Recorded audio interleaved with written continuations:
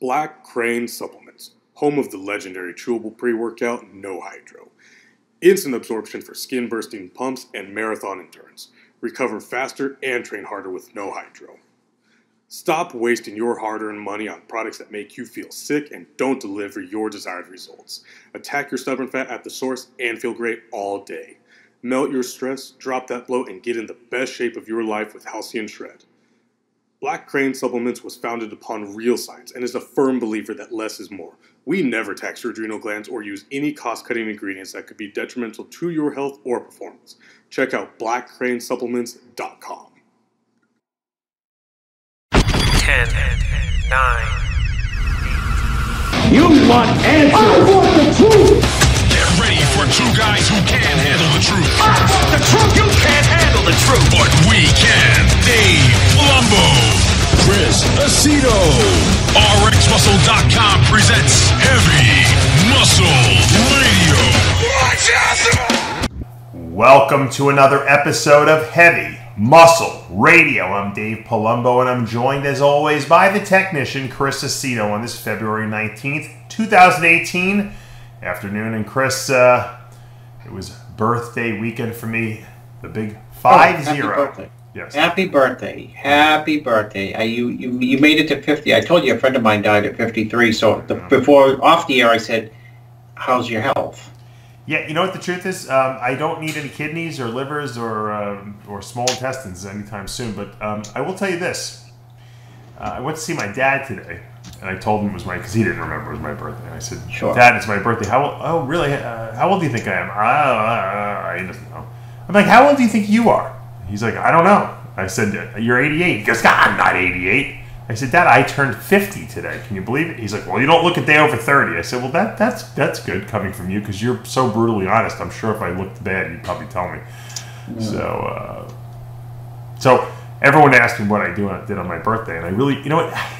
It, it seems like a lot of pressure. Like when you're a kid, you like look forward to. All right, I'm going to jam as much stuff into my birthday as possibly possible because it's like a big day.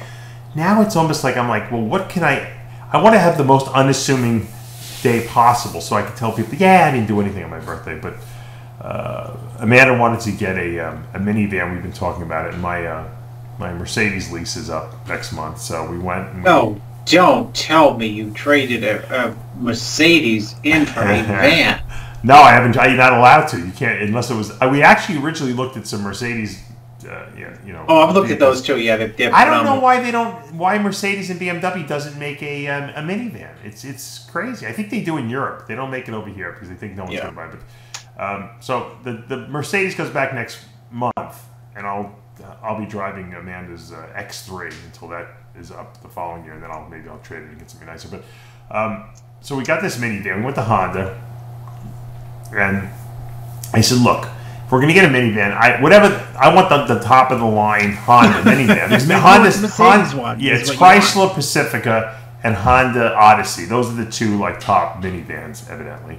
So we got this uh, without making the whole. It's, it's not worth going into too much. It's not that exciting. We got the Honda Odyssey Touring Elite. That's what it is. There's like three. You have to add three names on it, and that's the num. That's the top of the line. It has all the bells and whistles with the TVs in it and the. You know, I, I got to tell you, the the technology, believe it or not, I'm shocked. The technology inside this thing is actually better than my Mercedes. I can't believe it. It's got the same stuff plus extra stuff. Like when you plug your my, it's got this Apple and Android recognition software. So you plug your phone into this into this into the vehicle, and everything pops up on the screen. My whole phone pops up on there. So if I'm using the navigation on my phone, it's on the screen. If I'm if I get a text message while I'm driving, it actually reads the text message to me, and it asks me if I want to respond. And guess what? If I say yes and I actually respond and give a response text message, it actually understands what I'm saying. Unlike most of these stupid, you know, you call these these places up on the phone and they they think they're real hot shit. They got voice recognition, but the, the voice recognition never understands a word you're saying. You notice that? I don't know if you've ever Yeah, yeah, experienced yeah, that. yeah, of course. I'm I'm probably the most articulate, one of the most articulate people out there, and the fucking voice recognition can never understand what I'm saying. Uh, excuse me, we did not understand what you said. And they always have these like British accents on these these stupid things. and I'm I'm screaming like a lunatic, and everyone who works in my office is looking at me like laughing their asses off because I'm screaming at, at, at an automated machine. It's, they, they actually use a former NABBA official's voice in the, uh, in the, in the with the British accent. that was a good one. Um, so, you, but what I'd like to what I'd like to have on the voice recognition is you should be able to pick first of all which I, I want a historical voice from somewhere in history like Napoleon or Gandhi or I want like uh, Winston Churchill and I want to be able to pick who, who I could whose voice I'm, I'm using. Arnold, you know, I probably wouldn't pick Arnold. I wouldn't be able to understand a word You haven't got the interview yet, so you you, Yeah. you you should hold out until you get the interview before you. So I'm so excited that this thing actually understands what I'm talking about. It gets every single word I'm saying, even the slang jargon I'm using. Uh-huh. This Honda Odyssey Elite, Touring Elite. This car is. It really, I, I have to tell you, it, it surprised the crap out of me because you know what? You think that the, the German engineering, I, I know the motors are better in those cars, but man, sometimes the little bells and whistles inside make it a little more enjoyable. There's like an intercom in the car. Yeah. Because you know, there's three rows. We'll never use the third row probably, but who knows? Maybe when our kids get older, they'll like to go in the third row. So you, if the, if your kids are messing around back there and you want to tell them to shut up, you get on the intercom, and you're like, "Listen back, listen up, guys back there. Cut out the crap," you know. Yeah. I'm thinking, man, that's what Chris needs. Chris, you're at the stage where you actually need something like this. You got to look into this. I'm telling you, this Honda Odyssey Touring Elite minivan. Okay. Well, my I, I have something that whatever I, I have, I, I lease a. I don't even know what it. A Toyota Hyundai. I hate it. I'm telling you, when You you know- lease when your lease is up, listen to me. It's not expensive. It's not like a, it's not a fortune. This thing. Go and look. Go to Honda, and you're gonna look at this Honda Odyssey because you you guys have there's a lot of you got to throw all your sports equipment in there for all the, the team stuff that you guys go to. My skis. I gotta put my skis. now you're, you're cross country skiing. I saw. I didn't even know you knew how to cross country ski. I, I don't. my I wife said, "What do you think, Chris?" I, I, I call it cross country falling. I said, my wife said, "What do you think? Chris sits on, on on the side." I said, "Yeah, I thought he sit on the side with his phone. You know, while texting, they were all texting. Yeah, No, I usually sit in the. I. I usually sit in the in the in the, in the leased Toyota Hy- Hyundai, I whatever it's you called. Wishing I had a suburban, a black suburban, which I don't, and texting like you or Jay or Bob Cicherillo That's what I thought. I was convinced. Blackman. But I saw you actually on skiing skis. today. I went skiing today, cross country skiing, and I was so tired and sore.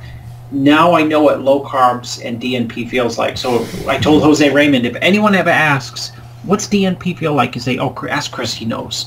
Well, And people say, how do you know? I said, because I got so exhausted from doing cross country skiing. Maybe if you have some athletes that are falling behind, you should have them come out and then you'll you'll put them on skis. You know how like you know these these guys like to train people. Well, you, you, you know what I was thinking when I was cross country skiing today? Remember the NordicTrack? Yes. It used to have that Yeah. exercise contraption. yeah.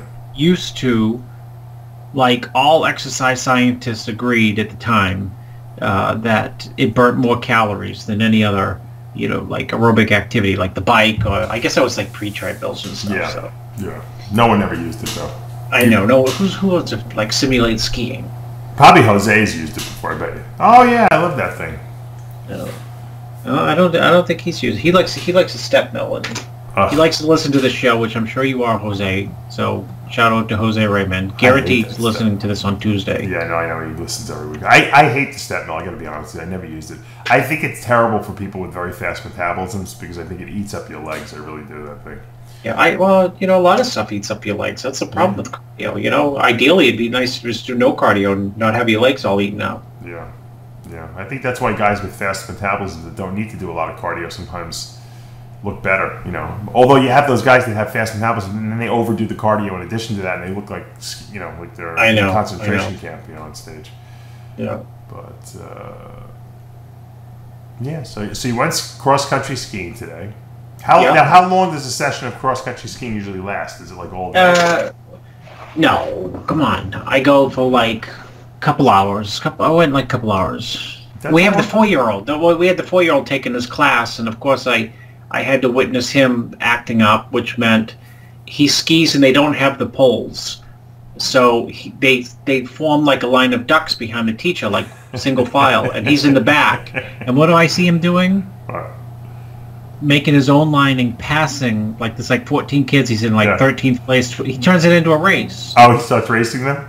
And yeah, he skips everybody and he, and he heads to the front of the line. You're supposed to just, you know, work on technique and stay in a straight line, but he has to turn everything into a contest. He's like you. He's competitive. That's why. Yeah.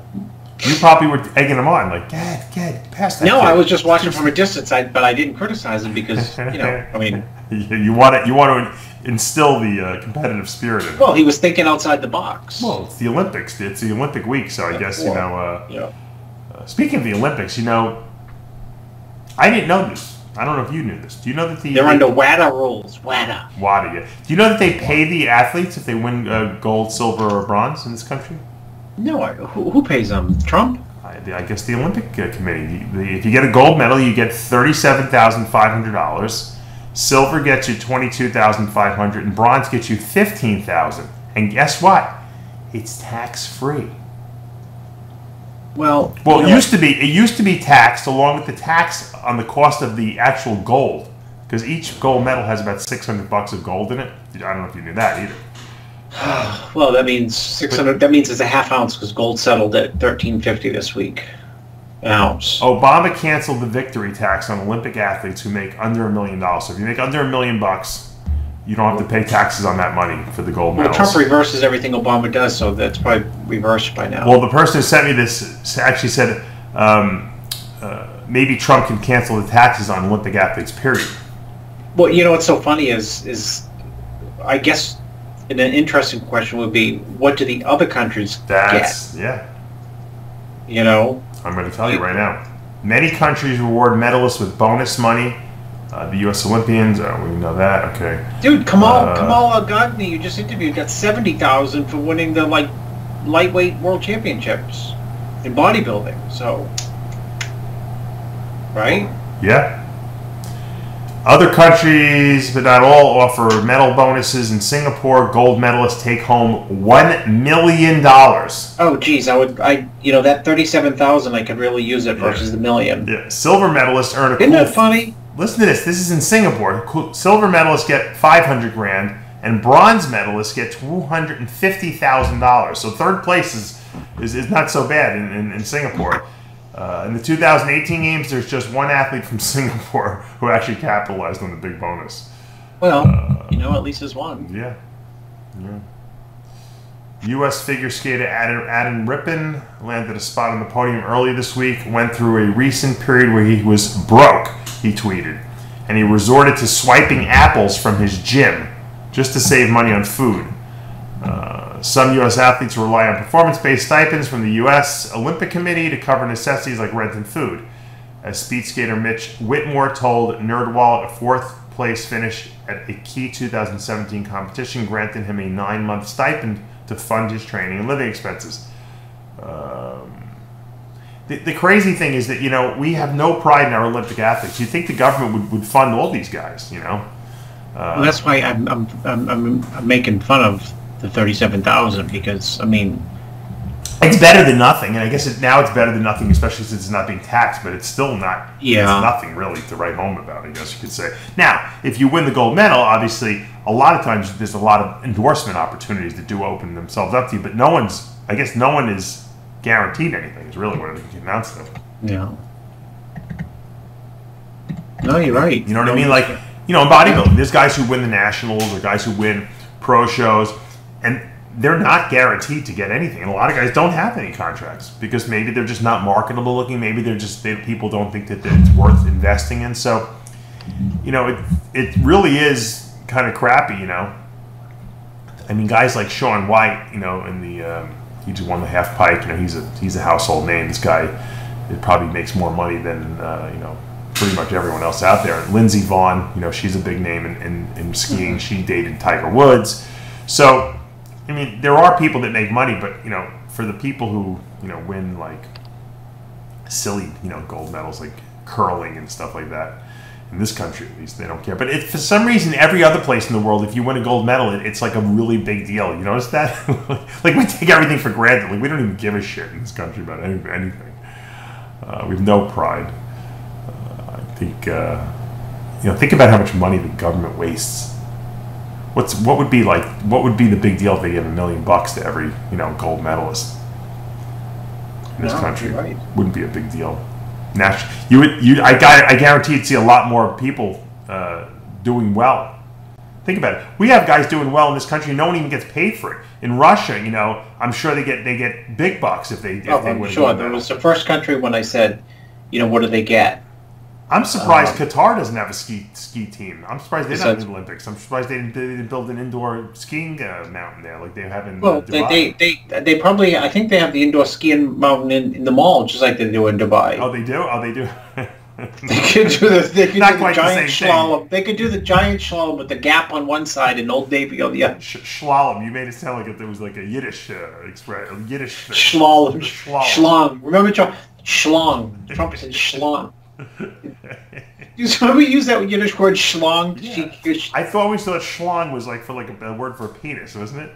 I thought so too. So, but he used some word against Hillary. He said Oh. she got schlonged, and uh, Yeah, well, that yeah, that would make sense given my uh, definition I just gave you. anyhow.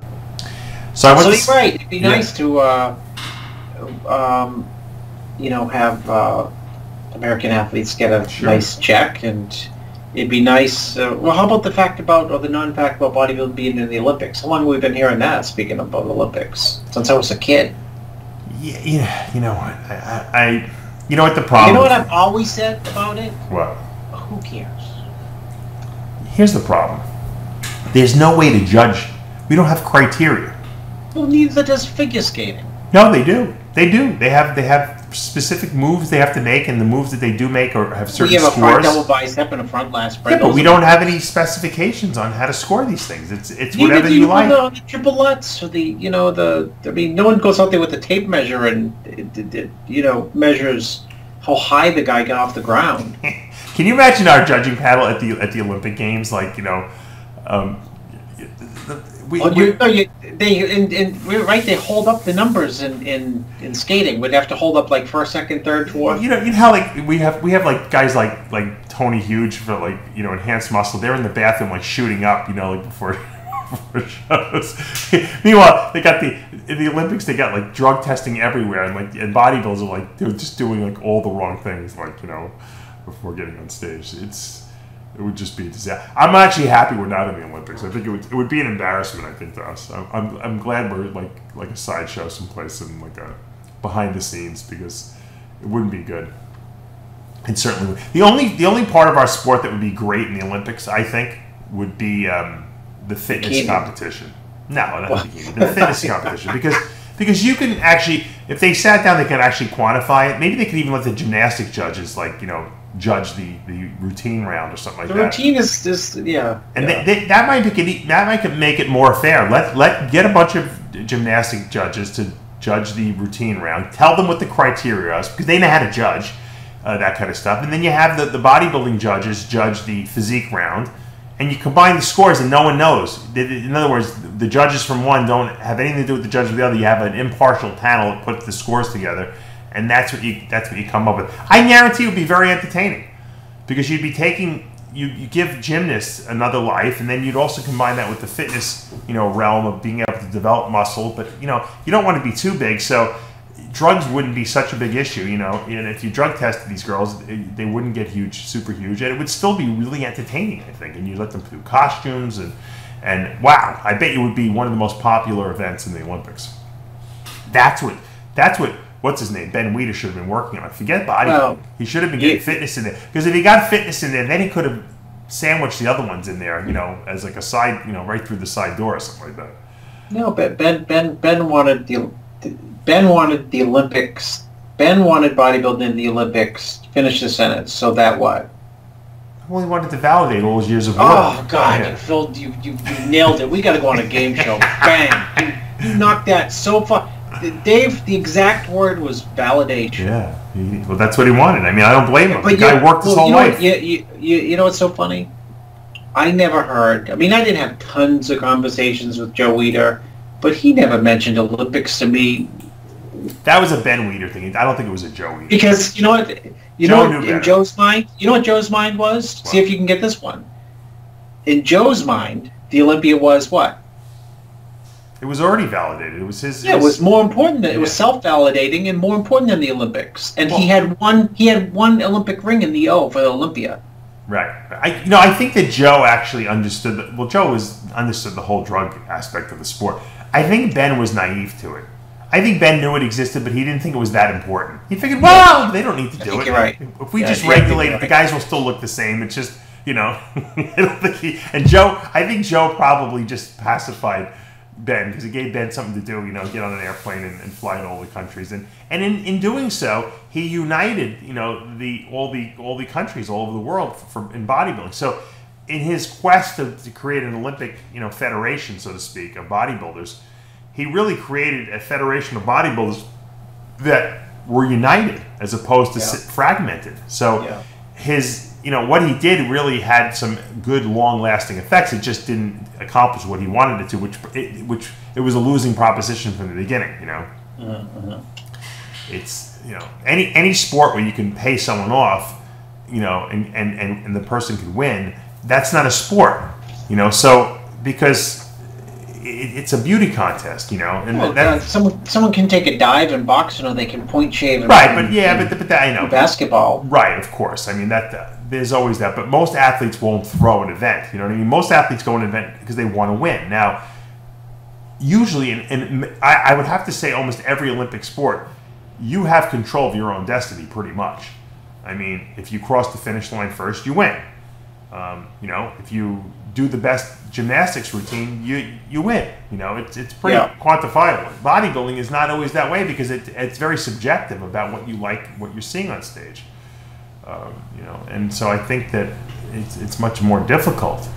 Uh, and I think if they, at the level that Ben would have had it at, where it would have been drug tested, the guys would have looked marginal at best. They would have all looked pretty much the same. Uh, it would have been interesting to see it, but it would have been nothing that would have wowed us. It probably would have been like a bunch of men's physique-looking physiques out there hitting poses. You know, it wouldn't have even been classic physique. It would have been men's physique probably when it first started. If you remember when it first started, before they got a little bigger. Sure. That's what a it little big. A li- did you say a little bigger? Before they well, they're a lot bigger now. But I'm just saying, when, when it first came out, it was like a it was like a beach body look, and that would have been what the, the bodybuilders on stage would have probably looked like if it, if they were subjected to year round drug testing. Imagine that. That's because that's what the Olympic athletes are. They're out of competition, in competition. It's not just a one time a year. You know, when you get to the Olympics, you get tested. You get tested all year. So I don't think that uh, that would have done too well for bodybuilding. It would have, uh, like I said, it would have been a men's physique show on stage. So to me, the only thing that that could have viably been in the Olympics would have been the fitness division. And now we don't even have enough fitness competitors. But if they actually decided to do that, I guarantee you more people would go into it because, hey, who the fuck doesn't want to go to the Olympics, right, Chris? Yeah, exactly. I mean, uh, I think. Right, you're right, you're right. Speaking of, um, well, let's uh, let's let's talk about the big story of the week, which is Shawn Rhoden, of course. Yeah. Tomorrow on Live with uh, you and I will be interviewing Shawn to get the entire story about what happened, and uh, because you know this was the first year Shawn had skipped. I guess the last year Shawn did the Arnold Classic was what 2014 when he lost to Dennis Wolf. Yeah. So he took the in the next two years he he tried to win the Olympia basically is where he put all his eggs into one uh, barrel so to speak. He was second and, and third um, those two years following that, and you know by all accounts I mean it was a, I guess it was a good gamble. Um, what first of all just let's start off like by this what what made Shawn decide to want to do the Arnold Classic this year? Was it a money thing? Was it just you know what?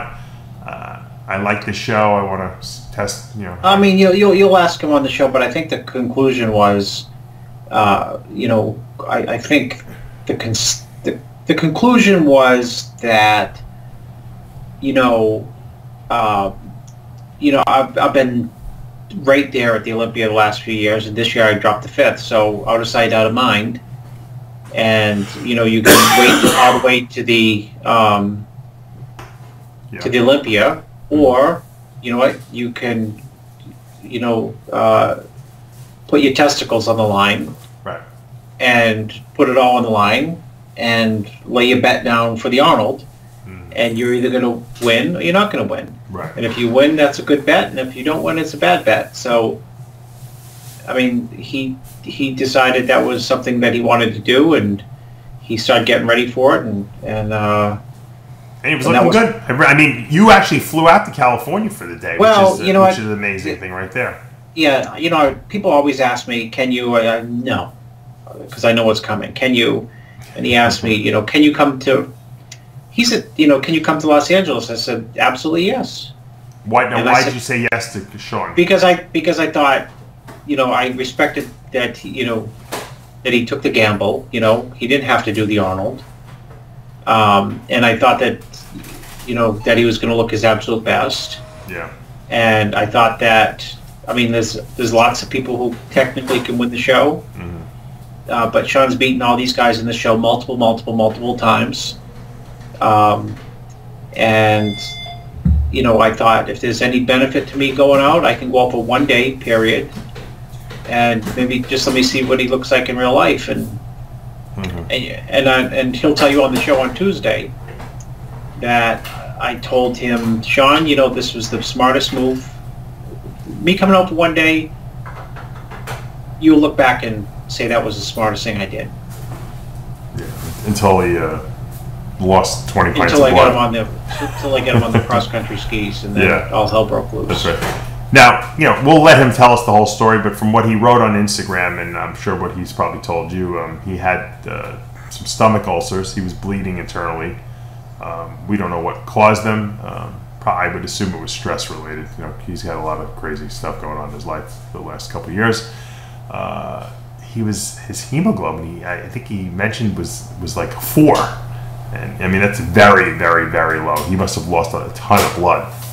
So the fact that he looked as good as he did, um, he must have been tired all the time. The guy was severely anemic because of all the May- blood he may- lost. Yeah, may, maybe you should get Guy Cisternino on the show. So Colin, funny Colin on with us. Shawn might be the you know the, the, the toughest guy out there to, to have been diagnosed. Do you know what did he call you at some point and was he complaining of being tired and run down? Yeah, no, that you know what? I don't call people a lot. People who know me know that I don't phone them up. And uh, he texted me uh, that he was very, very tired, and he's never used those words before. I mean, we've been, I've been with him on, you know, you know, I've traveled everywhere with him Sure. to the point of just we don't even know our names anymore. We're so tired. But he's never said I'm tired Right. and he texts me that he's I'm very tired and not should I, but he says I'm taking tomorrow off. Just I'm not doing anything. right. So I called he him- th- he I thought maybe he was overtrained. That's I'm sure what he's thinking in Yeah, his head. yeah. He said I was because he he'd never done doubles before and he'd been doing doubles, mm-hmm. training twice a day. Yeah. And I called him within, and he was doing two cardio sessions a day. Wow. And I called him within 30 seconds, and I said, "Are you okay?" And he sounded great. Yeah. He said, "Yeah, yeah, I'm, I'm, I'm just really tired." He said, I'm, I'm, "He said it matter of factly." He said, "I'm driving back to Santa Barbara, stay with my family tomorrow. I'm gonna sleep, and you know, recover, and then I'll be I'll be good to go." And I, so I said, "Take take a couple days then. Yeah. You know, if you're that tired, then you know, one day's not gonna allow you to bounce back." And uh, I texted him like I didn't hear from him, which was odd. Uh, and he never. I texted him maybe like 14 hours later or 10 hours, you know, and I said, Yeah. "You okay?" And he said, "No, my stomach is in. Oh, I've been throwing up." So you know, the flu's been going on. Sure. around. Was he throwing up blood So though? Usually that's what happens. Yeah. So, uh, me not being a doctor, I diagnosed him over the uh, phone as having flu. Right. Which, So- would, which would be something that I think I would probably throw out there too. I said, I said, and I read through my text, Dave. I said, just stay, you know, rest all day long. There's nothing, you know, just just don't worry about nothing. Just rest. And then I didn't hear from him again. Dave, I am an expert on a few things. One is knowing people. The other is knowing when something is going wrong. I get the sixth sense, or something going good. right. And so time went by. I'm like, if I didn't hear from him that I'm good or bad, something is really up. And I texted him and I didn't hear from him.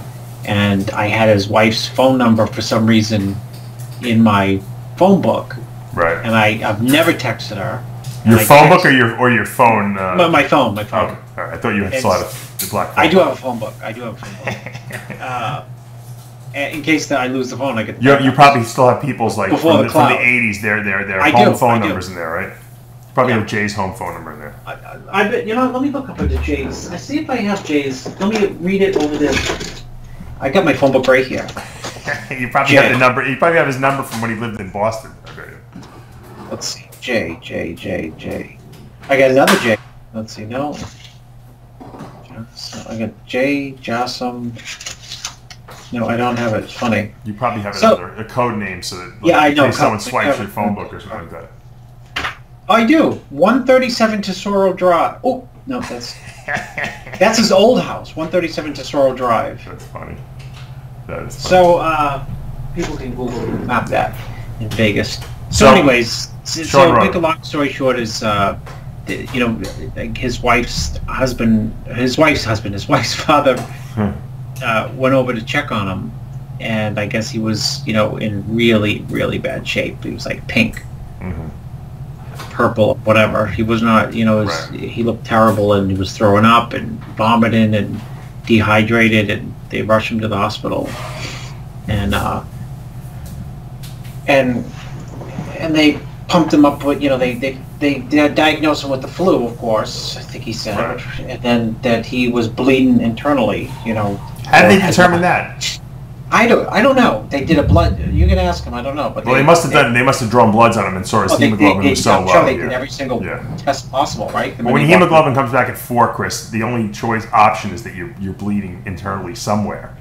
Um, I'm sure they probably did some, some tests on him, and they must have seen some huge accumulations in his stomach, you know, in his stomach area. Now, was when he was throwing up, was he throwing up blood at all? Yeah, he was. Yeah, I'm sure that. So that right there is the tip off. That, that's when. Oh, so yeah, he had texted me. I'm throwing up, and I, he said there's some. Uh, he had thrown up blood or something. That's when I said, you know, go to the hospital immediately. You know, a lot of people. You know, Shawn's a very quiet guy. You know, you know, I've never seen Shawn raise his voice really to, to anyone. You know, maybe once. You know, but he's very soft spoken. And guys that like internalize all that, you know, they internalize their stress. They don't let it out. You know, you and me scream like a bunch of lunatics, and so, you know, we let Oh, all I that out. at it, yeah. yeah. He Shawn doesn't scream. He just internalizes it, and you know, and you know, that's usually what happens. People who get ulcers are people who internalize a lot of their stress. You know, and um, I just I have I just carry the burden on my shoulders. That's why I have no shoulders left. That's what that's what the doctor told, told me. We all we all manifest our own stress in, in different ways, and uh, you know I'm glad that they caught it and that he was smart enough to go to the hospital because uh, you know if he would have lost any more blood, he could have died. You know because what happens is your, your blood pressure drops because there's not enough blood in the circulation to maintain you know uh, the circulation. You could you could just drop. You know so. I'm glad he got that diagnosed. Um, you know, now obviously stress can cause ulcers, but he also can have that H. pylori, which is a, a bacterial infection that causes stomach ulcers. And actually, if you don't catch it, it's, it's actually easily treated with antibiotics, but if you don't catch it, it can lead to, to, to stomach cancer uh, down the road. So it's good that you know he caught it now and, and diagnosed it, but um, that sucks. And uh, at least it's nothing serious and. I'm sure he'll probably be back and ready to go. Now, do you think uh, Shawn would, will just kind of forego, you know, the ideas of competing, or do you think he'll and wait to the Olympia, or do you think? Yeah, wait to the Olympia. Wait Okay, to the Olympia. okay. You, You know, initially, initially, uh, Maybe you should do like New York Pro or something like that. If that can, that's uh, if you can get back in shape, you know. for what? I don't know. Just Kai Greene did it, you know, that one year. Well, I mean, Because Shawn, does, I don't. Has Shawn ever competed at, at, in? I think he did compete in New York Pro one year, but I'm saying he doesn't really compete on the East Coast that much. It would be kind of cool to see him out here. Yeah. I'm sure Weinberg would love it. Yeah, I I don't think that's in the cards. You know, I mean, the guy's been since 2002 top three in the Olympia every year, with the exception of once. Dexter did it. I mean, 2012. Dexter won the New York Pro recently. Yeah. Um, It's a good title. Yep. Get the ring. well, Dex, that was just part of Dex's history. You know. Well, Dexter wanted to win every show. I think. I think at that point, at that point, I think now he's looking for. Hey, did I miss any shows? You know, I gotta, I Yeah. gotta make sure I, I won them all before it's all said and done. So, well, Shawn's going to be missing that lineup. You know, a lot of people, you know, were billing this, you know, as one of the, the best Arnold lineups of all time, and I think it still will be. But um, I was hoping to see that Dennis Wolf, you know, Shawn Rhoden kind of uh, rematch. Back on that stage. Obviously, Dexter Jackson in that mix too, which will be great, and Bill, William Bonac. I mean, it's a tremendous, tremendous lineup. You know, you got Roelly Winklaar in the lineup. Uh, Cedric, obviously, is the defending champion in that lineup. Max Charles, Lionel Beyeke, who can always be a, a, dangerous guy. And you know, I saw, I don't know if you saw, I saw a picture recently of Hide Yamagishi. He's huge. You know, he's working with Milos Really? again. Milos has got him on the insulin protocol, I'm sure. And uh, Really? Is he huge? yeah, yeah, he's big. He's doing the open. Send me a picture. Send me a picture. I was wondering what he was looking yeah, like. yeah. I'm trying to think of my. Oh, I think he's on Milos's uh, Instagram. If you check, Milos has a picture up with some of the guys he's working with. But uh, yeah, he's definitely he's definitely back. Actually, Wolf should have gone. Wolf shouldn't have gone to Dennis James. He should have gone back to Milos and let Milos. Yeah, yeah. He used to he used to train with. Uh, Didn't he put 40 pounds on him, or was that Na- Nasser? no, that was that was that was yeah. He Wolf used to work with Dennis Wolf. Wolf needed to put another 40 pounds back on after the, the surgery. I got news for you. We should send Ronnie Coleman out to train with Milos. Milos would have him walking probably. Uh, Yeah. You'd have him back up walking. He'd be, he'd be back to 300 pounds with Milos. Yeah, he does. He does look huge, huh? Yeah. Oh, you saw the picture, right? He's, I, I don't know Yeah, what his shoulders. waistline looks like, but his shoulders and arms and chest look great. Shoulders, shoulders, shoulders, shoulders are just gargantuan. It's the insulin. The Milos insulin protocol. No protein too. Now, I, I, uh, you were and I were talking about the, the 212 division with this uh, Hadi Choopan. and Are you telling me uh, no visa? Is that the you predicted it, but is that the uh, Well, confirmation we I, received? I, I just uh, if you if you play back half these shows, you'll you you'll get You've been saying it all along. I, I have to give you credit for it. Is that true? Did you hear that he's not going to be coming? yeah, you're right. Someone told me he's not in it. Okay. I mean, I, it's not a it's not It a. doesn't surprise uh, me. I mean, why would he be able to get You know, look look at the you. Once you look up the, they took Rhoden off the list for the Arnold. Let's see if they took out took off uh, Choopan for the 212. I don't even see the list. I, I just see the I see uh, the list. I still see Rhoden on my list. I might be looking at the wrong list, however. Yeah, you gotta be on the wrong list. What what website are you looking at? The IFBBPro.com? No, someone had sent it to me that, that it was right. Didn't someone send it to you too? That that Rhoden was out and they based it on the list. They had modified. the Yeah, I know, but I haven't seen the. I, I can't find this supposed I list. You know. I, I got the. Uh,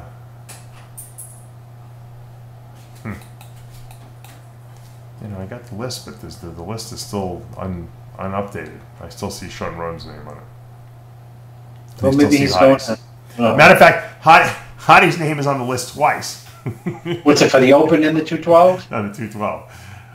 I think they duplicated the, the names, that's all. But, uh, yeah. I mean, who knows? But I predict. I predict. I'll I stay by that prediction. Yeah. I will stay by that prediction. No, he is right. not doing the show. You were right. I, I believe it.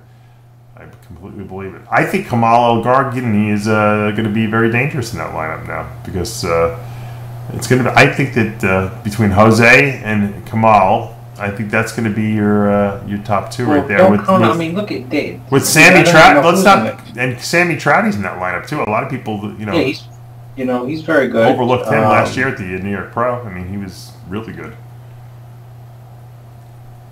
You had him in the New York Pro last year, right? I'm not making Yes, that I up. did. Okay. Yeah. yeah, he was really good. So Yeah, I, th- I thought he could have placed high on that for, show for sure without a. Uh, I guess you can't add more than the word for sure. the good, the interesting thing is Kamal and, and, and Jose are kind of like similar ages, similar type physiques. Um, I think it'll be a good battle between the two of those guys. And I Between think who? Between Jose and uh, Kamal. And I think that Samir Troudi is going to be another guy who's going to be right in there as well.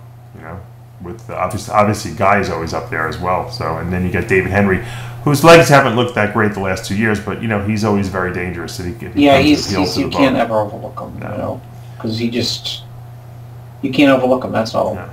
Every, you know, I like the 212 lineup this year because it's not a lot of people, but everyone in the lineup is really good. So it's like there's no throwaway guys. You know, so a lot of times you get these guys with oh, there's like 20 people in here. What the 10 of them don't even belong here. No, but everyone in that 212 lineup is belongs there, which is great. Which will make it way more exciting. You know, you can really dissect, you know, who's good, why they should win, because you don't have a lot of guys kind of cluttering up the lineup, as I like to call it. You know, it's kind of sad anyway because after the first call out, you know, yeah, the second call it's kind of important, but not really, and then you have to mm. get down to a third call out. No one's even watching anymore, you know. So it's like this is the Arnold Classic Invitational only. You know, we don't want to we don't want to be like kind of like ugh, all right, we can go to the bathroom now because the third call out's out there. So I think the Open and the 212 are small enough now that I think we're going to get some some some really good quality guys, and we're really going to be able to analyze that top group. And this coming week, obviously, and the week after, we'll be doing a lot of analysis, Arnold analysis shows, and handicapping, you know, as to who we think is going to win. You know, the, the the truth of the matter is, and I hate to say it because, it, but it's true. Um, Dexter Jackson is, is got to be considered. You know, you really got to consider him the most dangerous guy in that lineup because the guy's won the show more than anyone. He knows how to win shows. He knows how to show up at his best. He's the most consistent guy in, of all time. You know, so I think Dexter is is going to be very dangerous in this lineup, and I think that to, to not mention him as, as the guy who can win this show is you'd be crazy. We could throw all the names you want out there, but I think Dexter Jackson's one of the most dangerous guys in this lineup. Well, he's you know going to be in shape. That's a given, right? Look, the the judges obviously like this guy. they gave him more first places than anyone else in history. So when you see a Dexter Jackson in an Arnold lineup, when the guy's won five USA Arnolds already, you know, if anyone else is off, they're gonna go to Dexter. You know, Dexter's their guy. He's all right. You know what? You're right. No one's in shape. Dexter's got. We're giving Dexter the show. You know, and that that's how he wins these shows. So, you know, we can talk about how much better Cedric is than him. We can talk about how much better, um, you know, uh, Wolf is when he's at his best. We could talk about Ced, you know, we could talk about uh, Bonac, you know, placing higher than at the Olympia. But the bottom line is, if these guys that we just mentioned, I mentioned, don't come in at their best, and Dexter's right there looking as sharp as ever, he wins the show again. You know, and, and we'll be saying, how the hell did he beat all these guys? Well, they beat themselves. And Dexter was just there to collect the fucking prize money, as he always is. Would you love to know how much prize money Dexter's won? I wonder if he's calculated that. of, You know, all added up all the shows that he's won over the years. Mm-hmm. I'd like to know how much prize money he's he's pocketed. Probably that's got to be a record too. No one's ever even thought about that. That's definitely got to be a record. He's got. I bet he made more money than Phil Heath, even though Phil makes four hundred grand every year. Oh yeah, yeah, yeah. He's, he has to just multiply the shows, man. Right?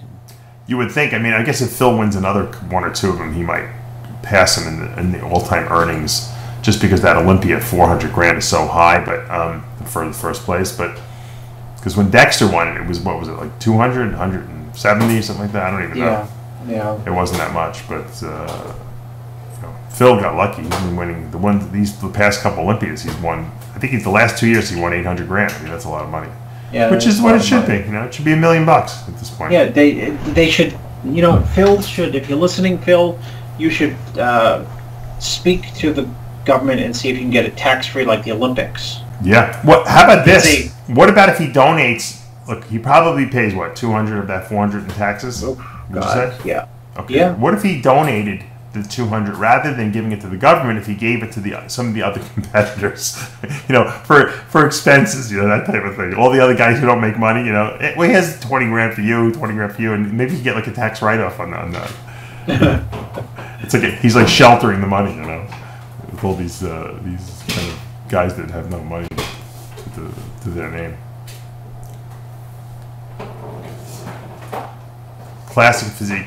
I, you know, I like I said, I don't I don't like these cattle calls they got here, but they, they're doing it for the classic physique division. They're doing it for uh, women's physique, and they're doing it for men's physique. Anyone, I think they got the took the first fifty people who came or something like that,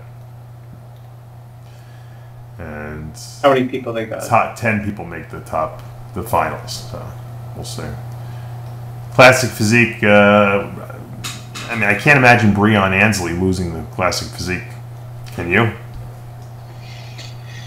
Um, I guess you have to see who shows up, and I don't know all the people. They have a million guys, but you know, is he beatable? Of course he is. I mean, i don't know if he's beatable by anyone although arash is in the lineup and he's always dangerous well, you get the you get the weigh in the day before, so th there's that That's, snafu that's tougher. Yeah, that's that's tougher. For I mean, I just someone just someone just told me the same thing. But they you know, raised like- they raised the weight class five pounds, so I know, but the weigh in is still the day before. Yeah. I, I really like Santi Aragon. I love his physique. I think he's going to be really good in this lineup.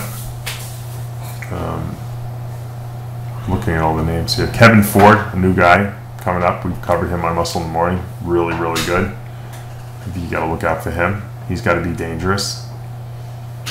Um, I think a lot of people. I like AJ, AJ Shakuri from uh, Canada too. He's really good. So there's there's a lot of good guys in this lineup. We'll see. We'll see what happens. Uh, the fact that Chris Bumstead is not doing the show that, that's that's interesting. I don't know what. There's obviously a strategic move here. I don't know why he decided not to do it, but I would have. We all would have loved to seen that rematch. Obviously from the Olympia. It's not going to happen. Yeah. A couple You of the other ones mistake, guys. mistake that he stayed out? I don't know. He's you know what he's young, so maybe he you know he figures let me put some more size on, come back to the Olympia. I got hmm. five pounds to grow this year. Why should I not do it? Why should I not grow? I don't think he I don't think he had a problem making the weight to be honest with you. So now that he has five pounds to grow, I think he he really you know with his young physique, why not put the muscle on? I think it's a good Yeah. idea. He's got all the time in the world. There's no there's no rush. They got the wheelchair wheelchair pro division uh, this year again. Harold Kelley won the last two years. I see the women's physique. I, I don't know if you've seen. Have you seen the pictures of Shanique Grant? I sent you a link to the uh, our forums. Yeah, yeah. She's she's uh Pretty wacky, huh? yeah she's crazy. If Sh- if Shanique Grant makes it to the stage, which is which Yeah, is- what's that? Wait, okay, so so what's that mean? well, she's missed two Olympias so far because she Why? Because who knows? She got hit in the eye once. With someone hit her in the eye. Then this past year she got sick or something like that. I don't remember, but she obviously she's she's like a Cedric with the Olympia. You know, she has bad luck with that Olympia. She can she'll nail every other show, but she can't get to that freaking Olympia for some reason. So, assuming she gets to the, makes it to the stage at the Arnold, yeah, I don't I don't think anyone can beat her. I don't think anyone in the entire division can beat her. To be honest with you, I think she's that good. Yeah, you're but probably right. You're but probably you know, making it to the stage is, is just as important as uh, as looking good when you're up there. You know. So, let me let me. I'll give you this. You you saw the pictures of her. How would you rank her? Like if if we were back in the nineteen in the Cory Everson era. She'd kill, destroy Cory. You think so? Wow. Okay. Yes. You know, I said when I saw her, I said, man, I wonder if Chris if Chris ever got a hold of this girl, what what he could do with her. She should should destroy Cory. Yeah. I, I think she's got better lines. You know. Much better. Much much much much. You know, better lines. What about a, a young Lenda Murray? Um, mm, she has her V tape is wackier, but you know, Lenda was just you know, More muscle. yeah, she had real thickness. This girl's got tremendous structure. Probably stand and relax better structure than Lenda, but Lenda, don't forget, had wheels, dude. Yeah, she had good So, especially when she was younger, she had crazy wheels, and she had back width. And, I mean, you name it, she had it. Yeah.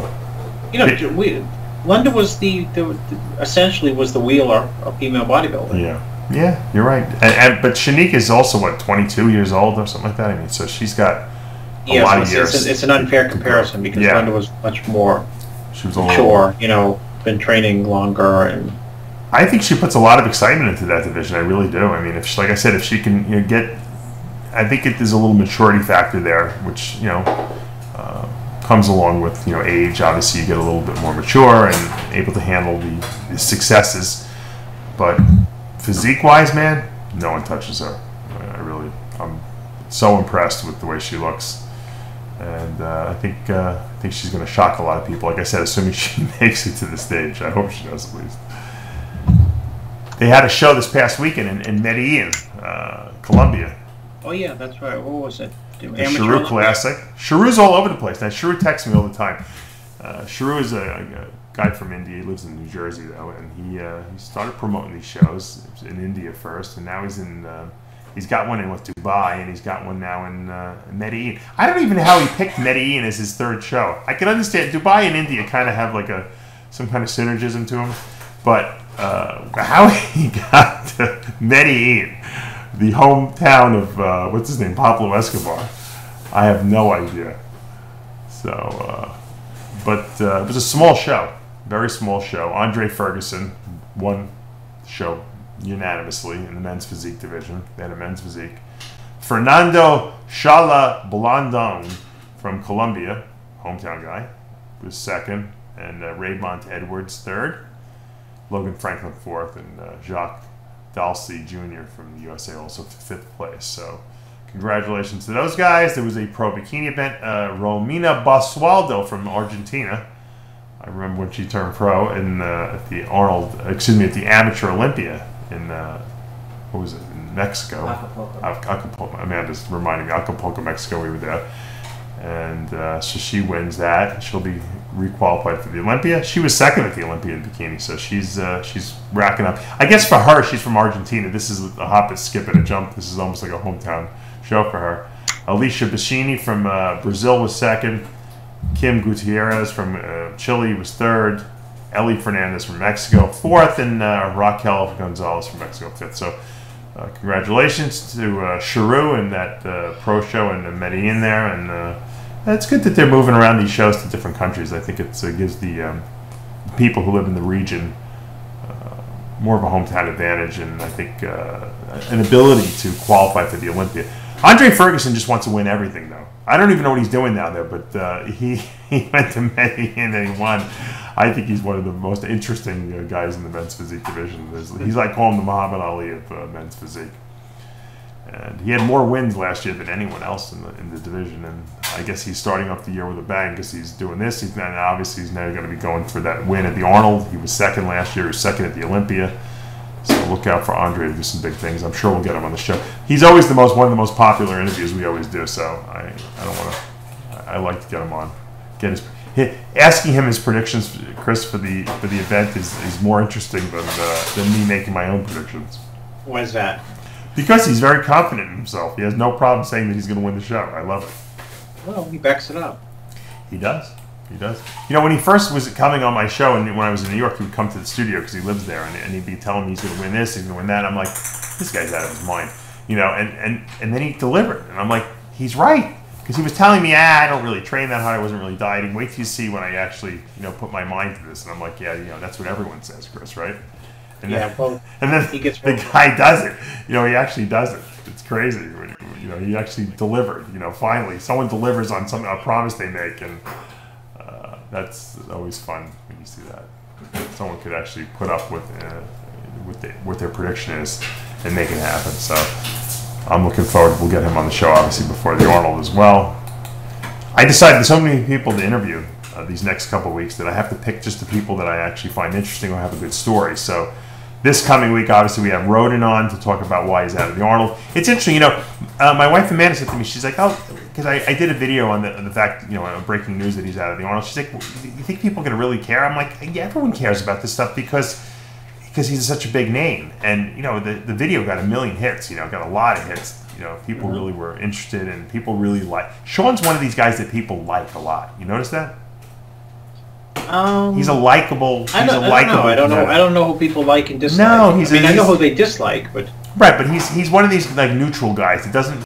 He never says anything bad about anyone. He's very quiet, but he always delivers the goods and always places very high. And people like his physique because it's very classic looking. And so you know, when a guy like Rhoden, who doesn't do the Arnold the last two years, comes in and is going to do it, and then all of a sudden he's got to pull out. People want to know what the hell happened. You know, I don't blame them. In addition to the Rhoden interview, we'll, we're also going to have a very special interview with Bader Boodai. I was actually contacted by him, and he says he has a special announcement. uh, he has your phone number. He must, yeah. He somehow, te- he somehow called. He actually called me on the phone. So he said, "I I want to come on the show." I said, "Okay, of course." I said Tuesday. He's like, "Okay." So I'm going to get him on the show, and uh, he's got a big uh, announcement he wants to make, and uh, I think he wants to. I think, from what I understand, he wants to uh, talk about corruption in this sport. So it should be a very blockbuster interview. We'll see what he's got to say, and I'll, of course ask him for his predictions.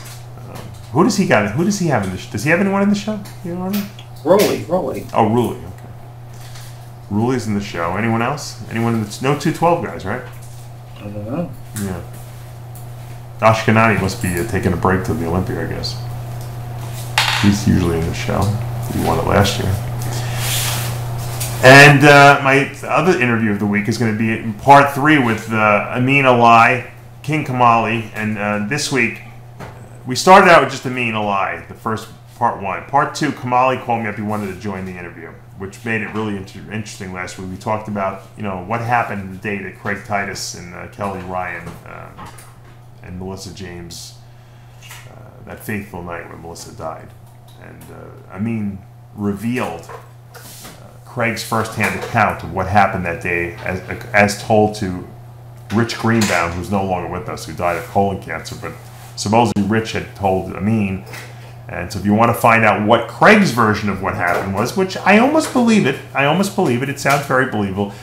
Listen to that interview. It was a blockbuster. It's got a lot of hits also, a lot of traction. But part three now is coming uh, because at the end of part two, we were talking about, you know, uh, the bodybuilders at party, at the Sound Factory because there was a whole scene there at that Sound Factory in Manhattan, which was an underground club. It was a club that really opened up after hours, like 4:30. It would open up, and no one would even be there at 4:30. You'd have to wait till six, seven in the morning, and people would start trickling in uh, on Sunday morning, and they'd go all day. And I don't really know how the whole thing got started, but Robbie Lopez was a big player in that. Uh, Kamali called him the the devil that got every, all the bodybuilders involved in this scene and Robbie's going to tell the whole story about how the whole thing started because this is a scene where Valentino was and uh, King Kamali eventually was there. I, I, I wasn't a regular there, but I, I went a couple of times uh, just to experience it. And uh, Ronnie Coleman, I uh, not Ronnie Coleman, um, uh, Chris Cormier would come by there when he was in town. Uh, Bob Bonham, I used to always see him there because he used to go with Valentino. Dorian Yates went there a lot when he was in town as well. So it was a it was a happening uh, uh, after hours place. You know that was kind of fun back in the day. And uh, if you want to hear the stories about the old days, a lot of guys evidently love these old day stories. Uh, what bodybuilding was like, you know, back then. And uh, listen to part three that's coming up this week. Obviously, we're also going to have some uh, interviews with some of the Arnold competitors that will be starting this week as well, as well as the following week, leading up to the Arnold Classic, which is going to be super exciting. Chris, you'll be out there. Lee Priest is going to be out there as well. And uh, I won't be making it this year. I mentioned that. It's just too much with the new baby. Well, you, you, you did mention it. You, you, you speculated about I'm it. not going. Yeah, I'm not going. Decided I'm not going. I'm, I'm needed at home. Who's going to cover the Hall of Fame? I don't know. It's a good question. I might. You want to go there and do it? Oh, are you kidding me? I wouldn't even like. You can. In, I need you to I, interview. I don't even Ron- know who the sports figures are. I need you to. You know Ronda Rousey. I need you to interview her. I, Ron who? Ronda Rousey, the, the, the you know the MMA. Oh, oh, she's a fighter. The fighter. Yeah, the fighter. you, can you can you can interview. You know what? Chris is very coy, but he's a very good. I saw you in when I send you to like Europe and stuff like that. You do great jobs with the interviews. You, you get better interviews than I do sometimes. You know. Yeah. Uh, so we'll send you there, uh, interview some people, and uh, Lee Priest will be there. So my our photographer will be there as well. So he's getting he's bringing his video camera. You and Lee Priest will do the wrap ups. People will love it, you know, because Lee won't be Lee. Lee will call it like he sees it. You know that. You guys will Yeah, probably of have way, you guys will have way too much fun. And if Shawn Ray gets in the middle, I'm sure either one of you won't have any problem knocking it out. So. you know. Shawn's going to make fun of you turning in your Mercedes for a minivan. Yeah, I know. Tell me about it. Tell me about it. But uh, I mean, I could keep it if I wanted to, but it's it's, it's a my lease is up in, in you know they get you. They, I, I've been leasing a Mercedes probably for the last ten years. If you don't turn it in at the end of the lease and you keep it, they waive the uh, origination fee or some kind of fee. It's like a six hundred dollar fee. But if you turn it in, you get charged an extra six hundred bucks because they want you to lease another car. Yeah. Now, I would have leased another Mercedes just to save that money, but they, these idiots don't have like minivans. I told you that, so I didn't. Uh, I didn't do it, and so I'm going to lose the, uh, the the six hundred bucks. But Welcome to middle age. You're Yeah. gonna be driving around. You're gonna be driving around with two kids, two kids in a minivan, and you're gonna be like me. You're gonna get out of this, out of the van. You're gonna take your kids into the little candy store. This is true story. So with my four-year-old, people say like, "Oh, your grandson is beautiful." the difference is my wife doesn't trust me to, to drive with the kids yet, so they'll, have to be a lot older before I take them out. But you I'm probably, serious. That's a true story. I was in the candy store You, one day. or- being- you don't even look old. You no, I know, but I was, I was, I was in the store. Yeah. one day, this store, I, I bring my four-year-old in to buy candy, Mm-hmm. and I bring him in all the time, And then I went in a couple times because they sell other stuff uh, other than candy. And the lady behind the counter said, "Where's your grandson?" Oh my god. And I was, you know, you I'm so busy, Dave. No, I'm. You know what? I th- this is a true story. I'm so busy. I'm thinking, who's my grandson? I'm thinking like godson or nephew. Does she mean? So I don't looked even, fine. you don't even get it yet. She said, "He is your. He is yours. He's your grandson, right?" I said, "No, he is my son." She goes, "Oh, I'm sorry. I'm sorry." I gotta tell you, if I thought you looked like a grandfather, I would tell you. You don't even. You have a full head of hair. What, what, where are they basing this on? Well, You know what it is? Because you live in Because Maine. you know what it is? No, Because you live in Maine, and people in Maine get married when they're like freaking 19 there because they got nothing else to do. And they No, have because kids. it's it's it's a type of store where like like kids go in who are like 16 and 18 and they have a baby already. So yeah, they that's what I'm saying. it. Because in Maine, it's different. There's nothing to do there, and, and the, the weather sucks in the winter, and people get they, they get pregnant there, and they have kids young. You're like a you're like a New Yorker or like L.A. person living in Maine. You know, you're in like hiding. You're like one of these mafia guys that has to that's like You know- you know what's so you they've like changed your name or something like that. I I literally went out to have sushi last night Right. with my wife and I looked over and there were there were like a lot of kids in the sushi restaurant my wife had commented on and I looked over and I saw this guy who was like he looked like 60 and he had like a four year old and like Oh, an really? eight year old and That's I was funny. I was thinking is that guy the father I wonder or the grandfather yeah. Well. could be the father right Sure, sure. Because only the, only the older parents can afford to go to sushi, right, with their kids. yeah yeah yeah, yeah. the young kids go to McDonald's, you know. yeah that's absolutely you you nailed that Dave Yeah. all the stereotypes were, were you know. well that's kind of, that's true though there's a you know Oh, I wanted to mention also, you know, I don't know, should I don't know if you uh, heard the story, but I'm I'm going to be interviewing another person this week, uh, Sean LeBega. He's an IFBB men's physique pro. He lost his leg, Chris, recently. Oh yeah, blood I, I clot. heard about that. I heard about that. yeah. and uh, he um, was experiencing coldness in his leg. He went to the hospital. They kind of dismissed the whole thing as not being a big deal. And to make a long story short, he wound up having to have his leg amputated. And he's going to tell us the whole story. It's, it's crazy. The whole story is, is nuts. Uh, he got it from like mid calf down, and because the I guess the, the nerve died or something like that, the blood vessel died. And they obviously, when your leg is like that, they don't, they, they got to cut it off. You know, they don't want an infection to set in and you lose more of your leg. And he's in pretty good, damn good spirits. I got to admit. I don't know if I would be in such great spirits. You know, if I Yeah. you know, I have very, this very terrible, admirable, actually. yeah, this this terrible quad thing going on, and I'm always petrified about it. This kid is very brave. He's in the midst of a really good you know, career as a men's physique. The only advantage is they don't judge the leg in, in, in men's physique, so you know it might not you know hurt him competitively speaking Mhm. as much as it's going to. Yeah, I mean, it sounds odd, but it's a good point. It's a huge inconvenience. The fact that he's still mentally very positive about what he's doing and that he's going to come back. It's phenomenal. I think that's phenomenal, Yeah, man. yeah, I mean, it is. we got to give our prayers out to him because obviously he's not out of the water yet. He just had it done, and so he's still you know in and out of the hospital because we were supposed to interview him last week, and uh, we're gonna have to postpone it till this week because it was uh, he was stuck in a typical doctor's appointment. I actually have to go to the dermatologist uh, tomorrow for a skin check because I like to get my skin checked every six months, which usually turns into once a year to make sure I don't have any skin cancer or anything like that. Especially after what happened with you and you know Amanda had the little skin cancers taken off too. So I'm going to get checked tomorrow at like 8:45 in the morning, which kind of sucks, but uh, I guess it's I, I'm, the, I'm I've become like the, the the old person. I'm like you know what? If you can get me in the first appointment, I'll go I'll go five in the morning just so I don't have to sit and wait because I hate waiting in, in doctors. Uh, Yeah, same here. Why can't stand waiting for anything? I don't know why they can't figure out how long it takes a doctor to see a patient and actually have real appointments. Because I, you can go in there. There's no way you're not, especially in Florida. you're definitely wait in two hours, and, and uh, there's no way you're getting out of this this room in, in, under two hours. And it's crazy. But if you go as a first appointment, usually they're not as backed up. So that that's my uh, strategy. Now I try to get the first appointment, even though I don't like getting up that early. It's worth it not to have to deal with the uh, all the bull crowd, you know, waiting in the waiting room. Because you know there's always some pain in the ass who comes in and probably spends you know an hour with the doctor when they should be spending ten minutes, and that sets everyone back. You Yeah, know? well, you get the scooter types coming in before with Yeah, the all the, all the great, all the uh, Hypochondriacs. hypochondriacs, yeah. all the hypochondriacs coming in who uh, who think there's 400 things wrong with them, and they actually they'll get a lift to 100, you know, because of, of how paranoid they are. You got people like Shawn Rhoden who doesn't complain about anything, and the poor guy is bleeding to death internally, and then you got guys like Scooter who who complain about every single little ache and pain they get, and they got nothing wrong with them.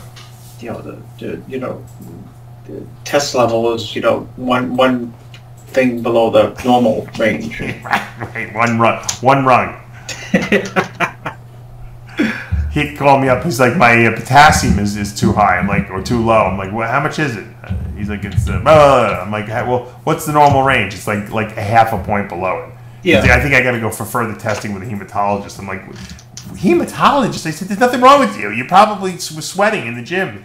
I did do a leg workout. I said, you dehydrated. So. I, don't, I think some people just like to go to doctors. I'm convinced of it. I'm absolutely convinced of it. Well, They like some it. people. They yeah. like the attention. I think my dad likes to go to doctors now, even though he complains about it. I think he really like. My dad loves the attention from all the nurses there, and even that he likes to yell at them. I was trying to explain to him how he got down to Florida. He still. it wasn't even. It wasn't worth it. I tell him, "Don't worry about it, Dad." Yeah, it's too involved. Yeah. It's very complicated. He's like, How did how'd you get me down here? I said, We took a plane together. I said, You, you were sitting in first class with me, drinking wine the whole time, the whole plane ride. I, just, I was. I wish I remembered. Yeah, he would have enjoyed it had I said, No, you, you don't wish you remembered it. Was not. It wasn't fun for me. It might have been fun for you, but it wasn't fun for me. I said, because the whole Well- way he was screaming at me that he was being kidnapped by me, and all the people around me were looking at it, looking at me like I was some kind of like criminal or something like that. Yeah, wondering if he really worked. Yeah, it might have been. I, you know, I have to ask, why did they hold? Why are they holding the Olympics in, in, in Korea, in South Korea? How did the Koreans get to the Olympics? Well, didn't Twice. you see that? Because nobody wanted it. Oh, is that why? Yeah, it was just it's the same thing. It costs so much to build Oh. the, ah. you know, build the facilities Right. to host, you know, the, the, the stadiums Yeah. And the security costs and the transportation costs and the you know Olympic Village costs, all that. Everyone has everyone in the Olympics uh, recently pulled out. I didn't know. The, even in the summer games recently. I, where's the next Summer Olympics going to be? I forget. I'm don't not know sure. either. But I think Well, the Summer like- Olympics, I think, are more desirable. I think. Well, aren't e- even with the Summer Olympics, nobody wants it. Boston was on the list, and they were like a, a front runner, and then they decided, you know what, we don't want it. The, the reason they didn't want to spend the money. well, you know, it's with security now too is so difficult that, that you have to spend a Well, there you fortune on all the you know? cops and everything like that. It's it's not fun. It's really not fun. The only good thing about when you have the Olympics in, in one of your cities, it makes you redo the whole city. You know, that usually like it, when Atlanta had those Olympics in what 04, Yeah. it, it revolutionized that whole airport and the whole transportation system of, of Atlanta. Yeah, I think it was great for it was really good for the economy there. I just recently watched the uh, Muhammad Ali again on that when he lit the torch. Oh yeah, that was great. Very touching. Very touching. So you know, I guess, I guess it, I didn't realize that, but you're right. It probably is very expensive to hold the Winter Olympics, and there's probably no. I mean, I don't know what like NBC and all these stations pay to broadcast this stuff, but uh, Yeah, but it's it's a loss for everybody. It's it's turning out like every year for each country to be like one big like money sucking, you know, extravaganza. isn't there someone who knows how to make money in these things and can turn the Olympics into? a I don't know. We can call it the Trump Olympics, if you know, just brand it out. Pepsi Olympics. There you go. Who who's good at making money in uh, the world today? With the you got to get like someone who runs like a rock concert or something like that. You know these rock promoters, and let them promote it. You know, I don't know. You know, it's it's, it's expensive endeavor. What they got to do is they got to hold like you know how they have these crazy super fights between like um, Floyd Mayweather and um, uh, what's his name Con- um, Conor McGregor. They got to like it, it's like a guest posing at the uh, like a bodybuilding show. You go to like okay we're having the Olympics, but Conor McGregor is going to fight you know uh, Floyd Mayweather again uh, the final night of the Olympics. May- so, maybe just to it- make it it worth it, you know. Well, maybe if they did this, you know, we're going to have the Summer Olympics, and we're going to do away with drug testing this year, and we expect all records to be broken. People would like, oh, I'm not going to watch. You probably get a million people to watch the hundred meters alone. You know, a million people, billion, right? Yeah. I, I've been watching the Olympics, actually, believe it. I haven't seen it every night, but I, I've actually, it's been very entertaining. I, I like to watch all the crazy ski events. You know, when you think about what they were doing years ago, like like in the 80s compared to what they Oh, do yeah. today, I'm like, these guys are out of Insane. their fucking mind. I know it, it is the jumps, I mean, they, they ski jump and they land backwards. Uh, I mean, you know, it looks amazing when they're doing it, and it's, it's a wonderful thing to watch, but I'm thinking these guys got to be killing themselves in, in practice. And we watched, my wife and I watched a couple downhill uh, events, and two guys crashed. They hit the wall so hard, I'm like, there's no, way, this guy didn't hurt himself really, really bad, you know. Uh, and if the elite guys are, are falling, can you imagine what all the guys who are trying to become elite are doing to themselves? They got to be all messed up. They all have torn ACLs. No one has uh, their own ACL. Uh, a lot of injuries in skiing. Arnold uh, didn't Arnold hit a tree when he skied or something like that? He almost Oh, killed you're himself. right. He did hit, hit a hit He a went to the Arnold Classic that year. He was in a lot of pain. I Yeah. remember. So Yeah, you're right. I guess cross country skiing is a little less dangerous, but uh, like if you're skiing, let's say all of a sudden a little hill came up, would you be able to go down the hill and, and slow yourself down enough so you don't kill yourself at the end of the hill? Uh, Well, uh, I should be able to. I don't know if I can do it all the time. Yeah.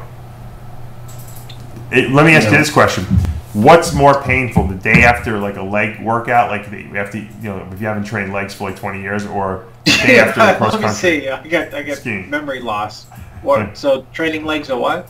Training legs after like never having done them for like you know ten years, or doing a, a day of cross country skiing, which leaves you more sore? More sore would be training back after one day with Serge Nubret. There's no no pain on earth that I could explain. Oh, you did train? I didn't know you trained with him. Yeah, I trained. I trained uh, with Serge Nubret before. It felt like explosives were put into my muscles, and then You're blessed because he makes you do 400 like sets. That's and a half. It- it- so many sets that that it's the most painful thing you'll ever experience. All right, so it beats cross country skiing, is what you're saying. Yep. Yep. I'll buy If it. you want to, if you want to get sore, go. You you know who you have to have on the show? You have to have on Rory Leidelmeyer because I've seen him on Instagram. I'm gonna reach out to him after the And article. listen, uh, you want to know how great? Write this quote down. You know who admired to death Rory? Who? Serge Nubret. Really? And why was that? because he thought he could go all the way. You know who else loved Rory's physique? Ed Connors. Bob Bob Paris. Oh, really? Yep. Straight from them to to me. Both of them told me Rory, Rory, Rory. Uh, I bet he doesn't know that. I'm sure he doesn't. I bet, I bet he'd be flattered. Uh, he, he had completely like all all all the tools. Yeah. Yeah, I, I've interviewed him before, but on the radio a long, long time ago. So I'm gonna, I'm gonna definitely reach out to him. He'll probably, if I remember correctly, him and John Brown were, were great interviews. Um, I think Shawn Ray actually hooked up those two interviews with me for me actually because he was he knew them. But I'll reach out to them now with social media. It's so easy. I'll reach out to them. Yeah. Uh, I have a couple. I have a list of whole people I want to interview. Believe it or not, but um, I think that's the second time I've asked you to interview. Yeah, uh, you did. You did. We'll get him on. Maybe I'll get I'll get you on with me because uh, you know him pretty well as well. No, I don't know Rory. Oh, you that- don't? That's, that, no, that's why I want you to interview him so I can learn something. Okay. I know Who- who- I helped Bob Rory back in the, in the day? I don't know. Maybe he Serge always- Libre? He, he always would come in flat. Yeah. He probably didn't have any clue what he was doing. He probably just was a genetic freak. Oh, Typical. sure. Typical. He, he, there was no poaching back then. There were no coaches to poach. You know, No. if, in, in this day and age, he would have been poached by everyone probably. You know. Yeah, you know who George has would have tremendous photos of him, I'm sure. And Rory Rory will tell you this. Who? He was very good friends with Jason Mathas. Oh, so he probably does have good pictures. So. All right, we'll reach out to him. And uh, guys, uh, make sure you stay tuned this week to all our Arnold preview uh, interviews. We have some the, the big interviews is the Bader Boodai interview, the Shawn Rhoden interview that's going to be on Tuesday. I don't know when we'll put those up. They'll probably be up either Tuesday or Wednesday. And uh, I'm going to have Sean LaVega as well. And don't forget, you don't miss the Amin Alai with uh, King Kamali and Robbie Lopez. And we're actually trying to get Victor Martinez too. So that should be a, a really terrific interview. And then uh, maybe we'll even do. Uh, Maybe we'll even do a uh, heavy muscle TV whack pack. Uh, I have to find out what Big Lenny's doing. We got we got so many requests for Big Lenny, you know, um, but I'm putting them off because we have the Arnold. So maybe I may have to Lenny. We may have to wait till after the Arnold to get you on, unless you want to do maybe maybe you, me, and Big Lenny can do some handicapping. No, he, he's probably out doing a review of the Black Panther movie. And on that note, we're out of time. Until next week, remember with Heavy Muscle Radio. The truth hurts. Good night, everyone.